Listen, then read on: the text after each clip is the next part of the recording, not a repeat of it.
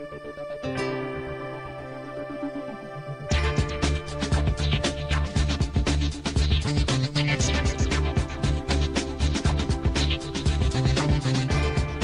Cube at Big Data SV 2014 is brought to you by headline sponsors WANdisco.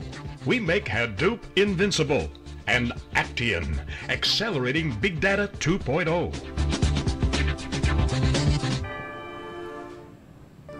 Welcome back. Jeff Frick here on theCUBE. We're at Big Data SV 2014 in the heart of Silicon Valley at the Hilton Santa Clara, just across the street from uh, Strata over at the uh, Santa Clara Convention Center. Back for another great segment. I've got with me this segment John Kreisa, VP of Strategic Marketing at Hortonworks, and Greg Kleiman, I think a first time, a first time on the Cube, Director of Business Strategy at Red Hat. So welcome to welcome back. Thanks, Jeff. Thanks. So let's just jump right into it. Big announcement a couple of days ago mm-hmm. of, uh, of a new relationship, new partnership. So yep. why don't we jump in and, and, dig into the meat of that? What, what did we announce two days ago? Sure, uh, I'll start and Greg, you can go. It's uh, a deepening of our strategic alliance between uh, Hortonworks and Red Hat. We're super excited about this partnership and what it means for the enterprise in terms of their ability to uh, adopt uh, Apache Hadoop within their organization. Um, you know, three principal elements around that. We're uh, doing a bunch of joint engineering, all in the open.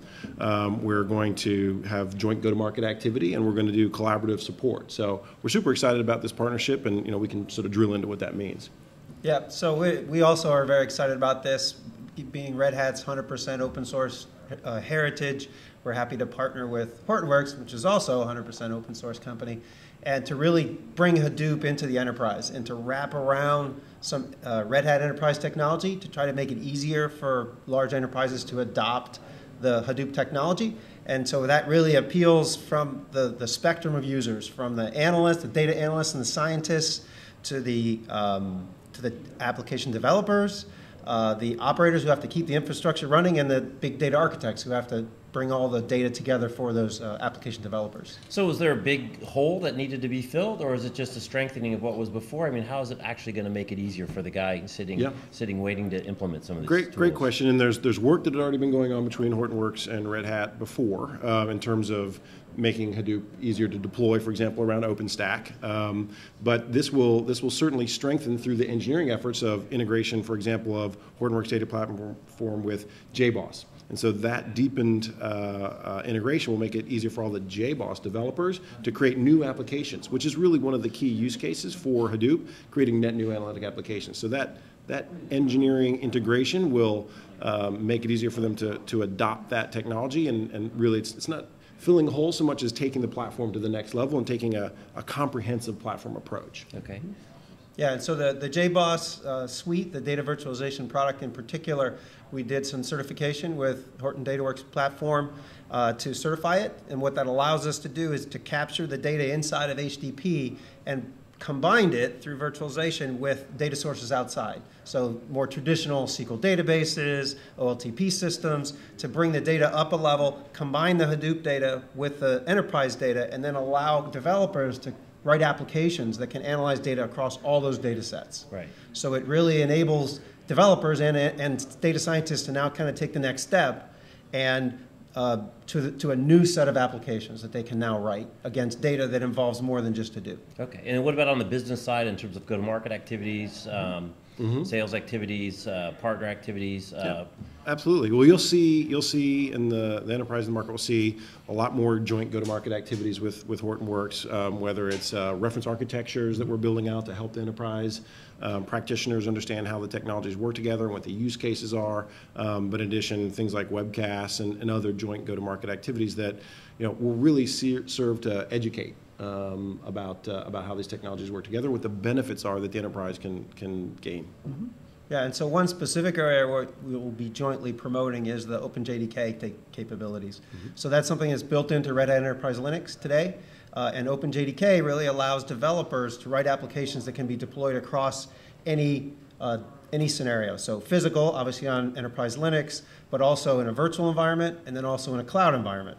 And as John mentioned, um, Red Hat and and um, Hortonworks have been working together upstream in the open source community, right. specifically OpenStack.org, uh, around something called the Savanna project, which is all about bringing Hadoop to OpenStack, to a cloud infrastructure, private cloud infrastructure, which basically allows enterprises to get all the, the greatness of Amazon EMR, Elastic MapReduce, except inside their private, their private firewalls. So that's a great capability. It, it, we really think that when that becomes available uh, later this year, that that'll really accelerate things for Hadoop because now they'll have a very elastic infrastructure to run Hadoop on. Yeah, so I just want to follow up on that a little bit. So talk, Greg, about kind of the convergence between uh, maturation of the cloud, if you will, both private and public, and the growth of that as, as a preferred infrastructure to solve a lot of problems with the big data side and, and the Hadoop side, and, and kind of the one plus one makes three effect of that mm-hmm. happening. Yeah, no, we definitely view it that way. It's, it's definitely a one plus one equals three. Uh, we, we view big data and specifically MapReduce and, and Hortonworks Data Platform as kind of the killer app for the cloud, right? Because it's big, so it requires a very large infrastructure, but it's, it's really agile. That, you know, the Hadoop and analytics market really needs agility. And so what that means is they need to be able to expand and contract on demand. And we think that that, that requirement for, from the users and the analysts and the developers down into the infrastructure, cloud is a great fit for that.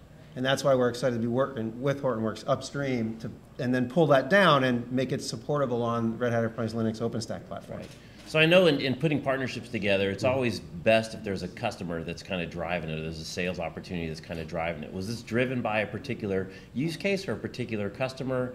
That was wanting, needing, requesting this, or was this just something more generically you saw in the marketplace that, that needed to be done to, to benefit both companies? So I'd say a little bit of both. I think both of us have uh, we have a lot of joint customers where Hortonworks are, are working, and, and Red Hat obviously is the kind of standard for um, Linux in the enterprise.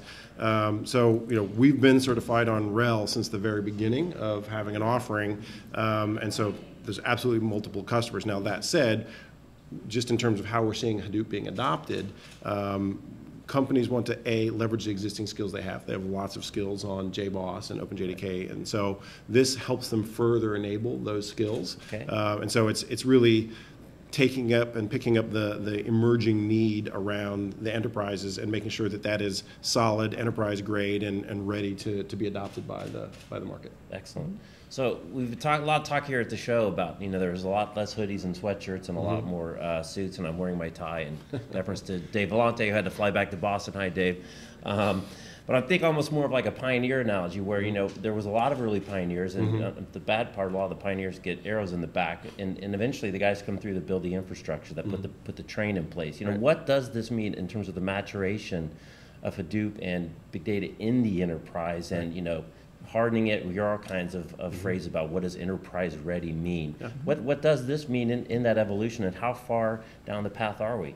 Good question. You want to start? So yeah, um, it's uh, I do think it's it's maturing, um, and the fact that we're joining forces and we're both targeted on making Hadoop more enterprise ready, and it's in response to our customers, right? So we have lots of joint customers together. Lots of people run HDP on RHEL. Uh, and they've come to, and they come to both of us, um, either together or separately, and say we want to move this into the mainstream. We don't want it to be a silo anymore. Therefore, we need you guys to help us integrate it, right? And that's why the JBoss stuff is important. Uh, we also have a Red Hat Storage initiative where we can do analytics in place on data inside of Red Hat Storage. We built a plugin upstream for that, mm-hmm. uh, and then the infrastructure side, right? They, they're saying we run on RHEL today, but we're moving towards the cloud can you bring Hadoop to the cloud for us? And so all of that is, is market and customer driven.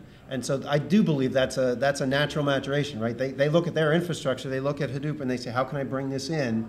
Because I'm, I don't want it to be a, a, an island, right? I need, it, I need to be able to manage it with my enterprise tools. I need to be able to run it on my enterprise infrastructure, and I want to use my existing developer tools. And that's exactly the three areas we're trying to address. Yeah, and I, I, like your analogy. I think this this really is moving from the Wild West into more of a mature infrastructure. This is one of the things that's really laying those tracks and laying that groundwork. Um, and, and, so, uh, and, and from our standpoint, you know, 2013, lots of companies really, you know, using proofs of concept and really building out their applications, kind of testing it now they really want to get it into production. It needs to be hardened enterprise grade, and you know that's that's one of the major benefits of this partnership. Yeah, that's great. So we're, we're kind of wrapping down to the end of the mm-hmm. of um, of the show here. Mm-hmm. We're day three. Um, but I know both of you guys have big shows coming up, so I want to give uh, opportunity for a little plug for uh, for Red Hat Summit. We're excited. The Cube, I think, is going to be at the Red Hat Summit for the very 1st time. I think it's at Moscone, so we're Yep. uh, we're excited to be there. So, what can people expect? Rush out and get registered. There's some exciting uh, news things that we can expect from uh, from Red Hat Summit. Give you a chance to give it a little plug. Sure. So we're excited about having the Red Hat Summit here on the West Coast for us West Coast folk, people. Uh, be in uh, in April. I think it's the 14th or so. Um, of uh, up in Moscone, as you said, and again, you'll you'll see a continuing of the of innovative solutions, both upstream and and supported in enterprise products in exciting areas like cloud. You'll see a lot happening on cloud, a lot happening on big data, um, as well as open hybrid cloud. So we'll continue to kind of move the move the, the pendulum over and, and move the, the, the ball forward for enterprises. Great. And John, of course, you've had the Cube at uh, Sure.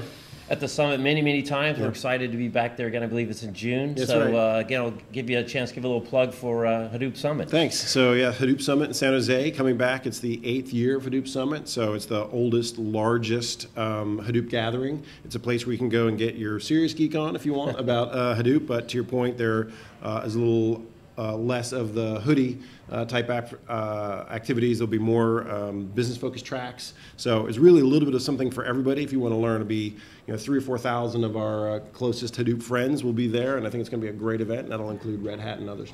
Great. So as we come to the, the end of, of, this show, Big Data SV 2014, what are kind of uh, your parting thoughts in terms of stuff you've seen outside of your own announcement, obviously, which is exciting. That's uh, a little bit different than where this was uh, at Big Data NYC in October as we've moved forward three or four months. And then what do we what can we expect between now and Big Data NYC 2014 uh, in about six months from now? Sure. So I mean, I've seen some just very interesting technologies over at the the conference here. I would say that um, you know it's more about the applications that are getting built than tools that sit on top of Hadoop. A lot of innovative, interesting little companies that are building things specifically to make Hadoop uh, easier to use in a variety of kind of targeted areas. I think we'll see more of that. I had some conversations with folks about you know applications that they were building to meet specific industry needs, healthcare and, and others. Um, so I think that is really the trend. It's it's making you know now that the platform is more cementing itself, applications will be built on top of that, and we're just going to see more of that evolve in this year. Yeah, I would agree with that. I think that there'll be a lot of excitement around the application development environment. Um, Red Hat, we're going to be working towards with Hortonworks towards things like OpenShift, where we can move it up even a level up to a platform as a service. Uh, there'll be some innovation down at the infrastructure level as we make the transition over to cloud, so that'll be exciting later this year as well. Great. So I'll give you I'll give you the the the, the John uh, the John challenge since he's on here. If you had to wrap it up in a bumper sticker, as we drive away on Highway 101, what would it be for this show? Uh, for the show, I just say Hadoop is ready for the enterprise to adopt and put into production.